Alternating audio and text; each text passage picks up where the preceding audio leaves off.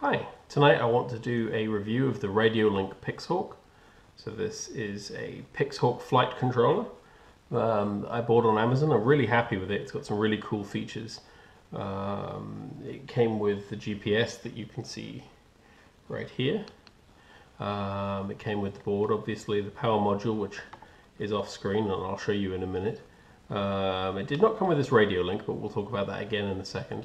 It also came with the buzzer and the safety switch. Um, and these are all important parts that uh, need to come with the Pixhawk in order for, it, for you to really get the value out of the product.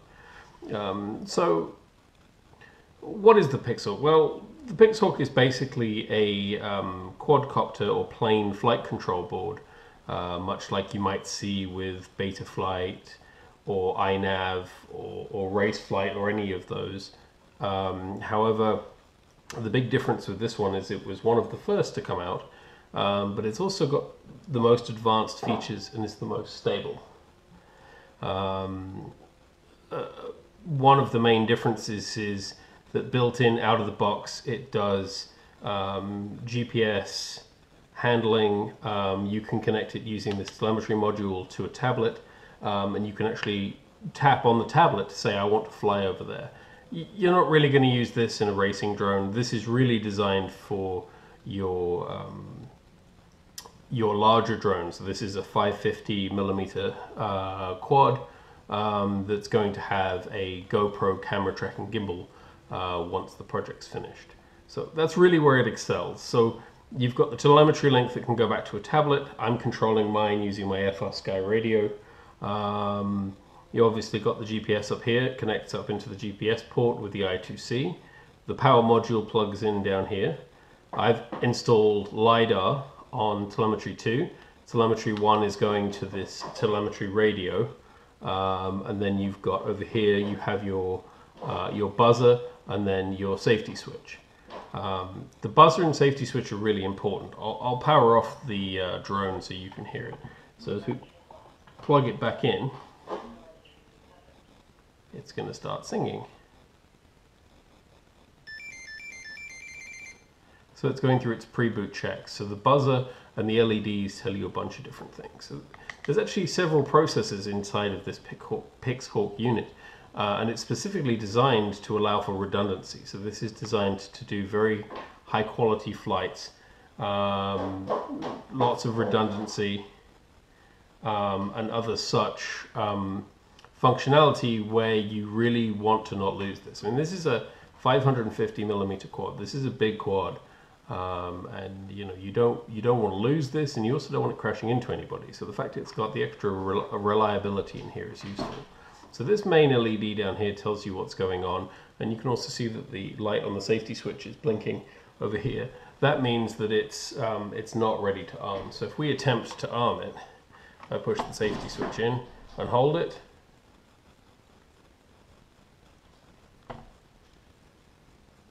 It won't arm well, it won't go to pre-arm is what they call it. Uh, arming is done through the transmitter and the sticks. So we're getting nothing on here. Um, so I'm going to connect to the USB and see what's going on on the other side. But this safety switch blinking yellow basically says that um, the quad is not safe to fly yet. So I've got to find out why. So the problem I'm seeing is compass calibration is off. So the GPS, the unit that you can see just off screen, this has got a compass in it. The Pixhawk also has its own compass in it, and you can add a third compass should you want to. Um, and all of these systems are designed to be redundant so that you don't lose your craft. Uh, you can connect multiple devices to the I2C bus uh, in case you want to do any kind of other sensors.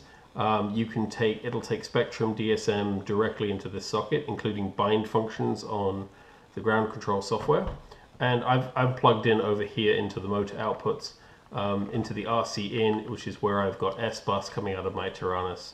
Uh, this is currently running on uh, XSR Taranis. Um, so I'm going to pause the video and I'm going to calibrate the compass real quick and I will come right back. Okay, so now that the GPS and compass has been calibrated, um, we can talk a little bit more about it. So we can see here that the uh, light here is flashing blue. That means that the quad has is is able to be armed and it's able to be flown. However, it cannot be. Uh, you can't use any of the GPS modes. When this goes green, we'll get GPS modes available to us. Um, the other indicator is the LEDs on this GPS will start to flash. And I think the problem is that the GPS is directly underneath the GoPro and it can't see the satellites, which would make a lot of sense. Um, the other big thing that's important is the safety switch. So you're not going to be able to arm the quad until the safety switch is happy. Um, and so you push and hold the safety switch, and then you're into what it calls pre-arm. If it does any kind of tone, because it doesn't have a GPS, it doesn't have any of its internal functions aren't working, you'll get a tone and a yellow flashing light like we had before. Um, so this has got a lot of really valuable features. Uh, I've been really happy with this. Um, we maidened it the other weekend, and we were able to we were able to test stabilize, which is just regular stabilized flight. Um, it has a loiter mode, which is very very easy to fly, great for beginners, uh, but also great for sort of stabilized shots um, for doing video. I um, I really liked it because basically the throttle controls your altitude, and then you move the sticks around, and it just sort of flies. It, it's very hard to crash in that mode. Um, it's very, very easy to control. We then tried return to land or return to launch, which was really useful. Um, so we moved the quad away and it came back.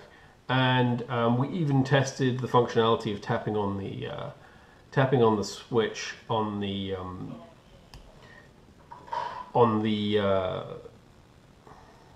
on the tablet to allow it to basically function um, to tell it where to go via the waypoint. So that was a really cool feature.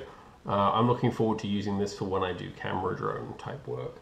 Um, so if I move you over here to my PC, we can see some of the information coming from the drone. It's still trying to get a satellite lock and now the GoPro has moved. We can actually see that it has green light. So that means it's going to get satellite lock and it will show where we are. Um, and this is really cool because we've got our station in here so we can see all of the various pieces of information. Um, you can actually use this as your ground control station if you wish to. I'm currently using a tablet with the uh, with the FPV link, and that's been really cool. But you can do um, various different um, various different modes that allow various different things. Um, the GPS is wandering because we're inside the house, um, so we'll try and do a pre-arm again. Um, and basically what will happen is that now we can we can fly the quad um, and allow it to work. I've got it set up with the switch. And you can hear it, it beeps each time the mode switches, um, and you can set up everything from flight plan data um, to hardware information. So I've actually got some optional hardware. I have the SiK radio in here. There's the battery monitor for setting up stuff. Make sure you calibrate this. Mine was wrong the first time when I crashed the quad because it thought it had battery. So you have to calibrate this. Um, we've also got included in this one, which is the rangefinder. So this is a LiDAR that I've got on the bottom. Uh, it didn't come with a kit, but I added it afterwards. Um, I can use this for, for very precise measurement of where the ground is. And so this quad will auto land itself. Um, and like I said, I've been really happy with it. It works really well. So anyway, that's my review. I've been really pleased with this quad and um, you know, let me know if you have any questions about it. I'd be happy to answer them. Have a good night.